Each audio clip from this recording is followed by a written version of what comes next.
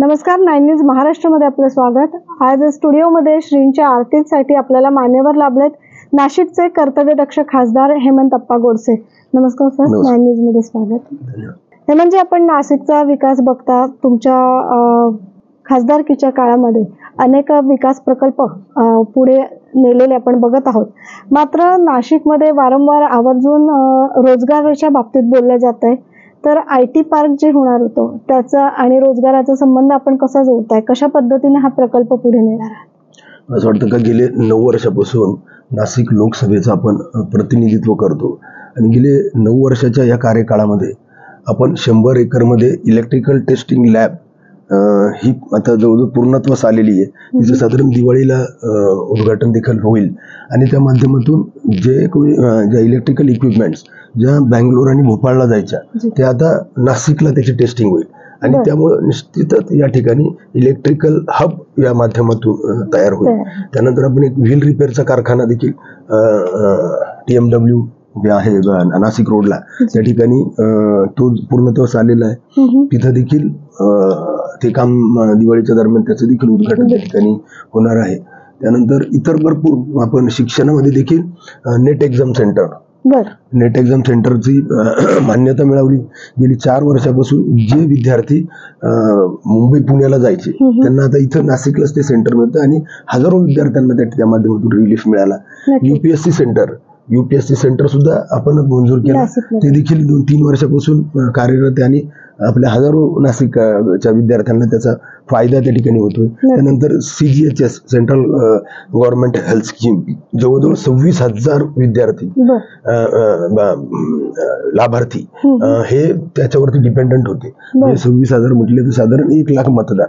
ते देखील सेंटर आपण नाशिकला त्याला मान्यता मिळवली. आणि सर्वच केंद्रीय कर्मचारी अधिकारी पेन्शनर्स यांना एक खूप चांगला लाभ त्या माध्यमातून मिळतो. अशी अनेक विकास कामं त्या ठिकाणी झाली. मुद्दा आपला जो दुसरा होता की आपण आय टी पार्कसाठी काय करताय? तर नुक- आपल्या राज्याचे उद्योग मंत्री आदरणीय उदय सामंत साहेब. यांनी देखील रा- राजूर बहुला या ठिकाणी शंभर एकर जागा ही आरक्षित करण्याचं ठरवलंय. आणि तशा प्रकारचा बोर्ड नोट पण त्या ठिकाणी गेलेली आहे. मला असं वाटतं का त्याला जर मान्यता मिळाली तर त्याचं रिझर्वेशन फिक्स होईल आणि त्या ठिकाणी आय टी कंपनी येऊन आपल्या नाशिकच्या ओपनिंगलाच त्या असतील. आणि म्हणून मला असं वाटतं का त्याचा देखील फायदा रोजगारावरती निश्चित त्या ठिकाणी पडेल.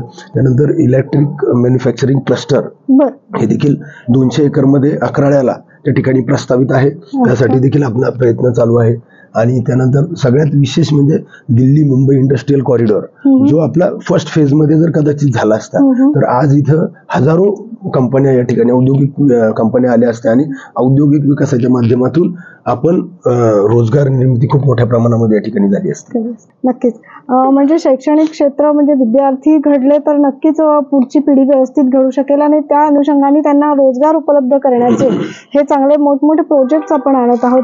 तर औद्योगिक विकास आपण बोलतो आहोत त्या सोबतच नाशिकचा काही भाग हा दुष्काळी भाग आहे. जसं बघितलं तर सिन्नर. तर त्या दुष्काळीत भागांना पुन्हा सुजलाम सुफलाम करण्यासाठीच्या काही योजना आपण आणतात का? हो. जवळजवळ चार ते पाच वर्षापूर्वी आपण एक नदी जोड प्रकल्प एक जलतज्ञ आहेत राजेंद्र जाधव. त्यांच्या मार्गदर्शनाने अप्पर वैतरणाच्या पश्चिम वाहिन्यांचं जे पाणी ते समुद्राला जात होतं. आणि मग ते अडवून ते आपण अप्पर वैतरणामध्ये त्याचं स्टोरेज होणार.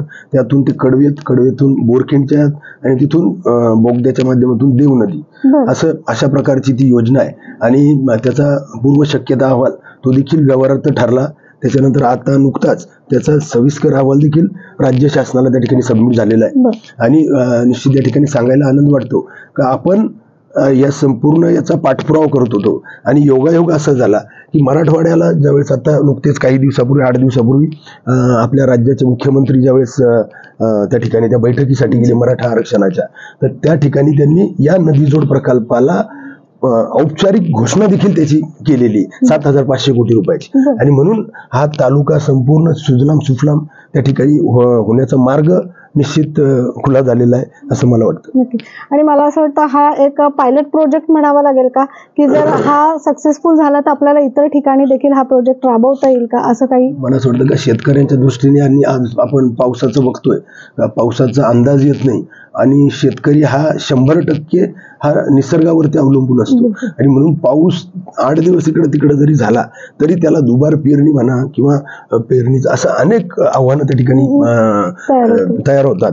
आणि म्हणून मला असं वाटतं का या नदीजोड प्रकल्प जर आपण राज्यामध्ये राबवले तर आपण ज्या ज्या जे जे तालुके दुष्काळी म्हणून ओळखले जातात तर त्या त्याच्यावरती जर टार्गेट केलं तर निश्चित मला असं वाटतं का आपले संपूर्ण महाराष्ट्र हा सुजलाम सु- सुफलाम होऊ शकतो. कनेक्टिव्हिटी संदर्भामध्ये हा. देखील आपण आता एअर कनेक्टिव्हिटी या ठिकाणी झालेली आहे. तसं पाहायला गेलं तर नाशिक आणि शिर्डी हम्म. आपल्याला दोन एअरपोर्ट्स या ठिकाणी मिळालेले. आणि त्याची जर एरियल डिस्टन्स आपण बघितलं तर फक्त पंचावन्न किलोमीटर आहे. म्हणजे आपल्याला शिर्डीला जायचं ठरलं तर साधारण सव्वा तास लागतो आणि नाशिकला जायचं ठरलं तर तीस पस्तीस मिनिटं. आणि म्हणून मला असं वाटतं का निश्चित आपल्याला दोन एअरपोर्ट्स अख्ख्या भारतामध्ये इतक्या जवळ कुठं नसतील आणि दोन्ही सुरू आहेत.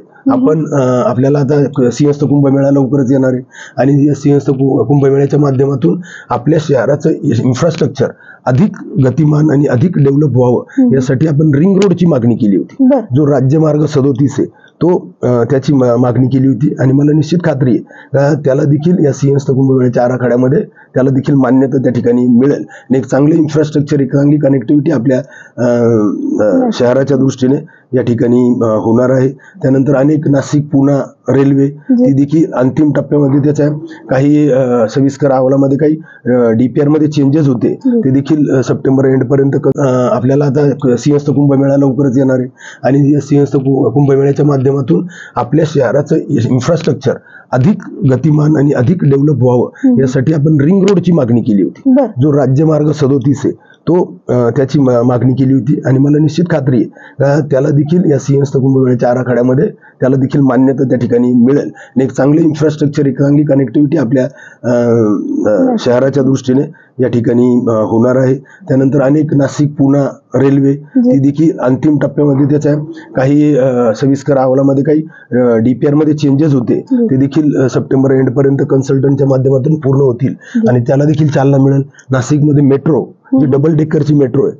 ती देखील लवकरच नाशिकमध्ये दहा पॉईंट चौवेचाळीस अगोदर बत्तीस किलोमीटर होती. त्या त्यातून ते आता दहा पॉईंट चौवेचाळीस ही डबल डेकर करणार. आहे म्हणजे एक फ्लोअरवरती एक सिंगल पिलरवरती फोर लेन आणि त्याच पिलरवरती मेट्रो म्हणजे अशा प्रकारचं शासनाचं नियोजन आहे त्याला देखील लवकरच रिवाईज मान्यता त्या ठिकाणी त्याची प्रक्रिया देखील सुरू आहे. एखाद्या दीड महिन्यामध्ये त्याला देखील मान्यता मिळून तो देखील प्रकल्प नाशिकच्या दृष्टीने अतिशय महत्त्वाचा आहे पब्लिक ट्रान्सपोर्टच्या दृष्टीने. आणि म्हणून असे अनेक विकास कामं प्रस्तावित आहे अनेक मंजूर देखील झाले.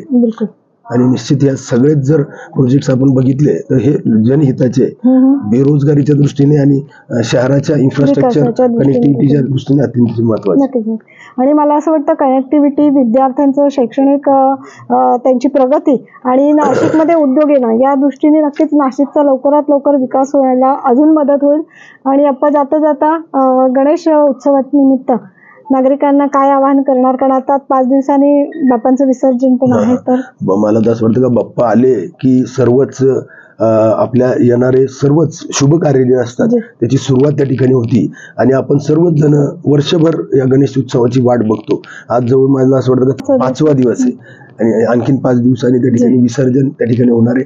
आपण सर्वांनीच पर्यावरणाची काळजी घेणं अतिशय महत्वाचं आहे आणि म्हणे पर्यावरण पूरक असा अं, गणेशोत्सव आपण सर्वांनी करावा. मी सर्व नागरिकांना श्री गणेशाचरणी प्रार्थना करतो. आपल्या सर्वांचं आरोग्य चांगलं राहू निरोगी राहू. त्याचबरोबर आपल्या ज्या ज्या मनोकामना आहे आपल्या सर्व पूर्ण पूर्ण होऊन आपल्याला एक समाधानी आयुष्य मिळो असेच ग- गणेशाचरणी प्रार्थना करतो. धन्यवाद.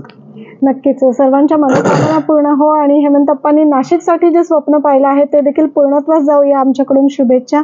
खूप खूप धन्यवाद हेमंतप्पा. आज एवढ्या वेळात वेळ काढून हेक्टिक शेड्यूलमधून तुम्ही बाप्पांच्या आरतीसाठी आलात.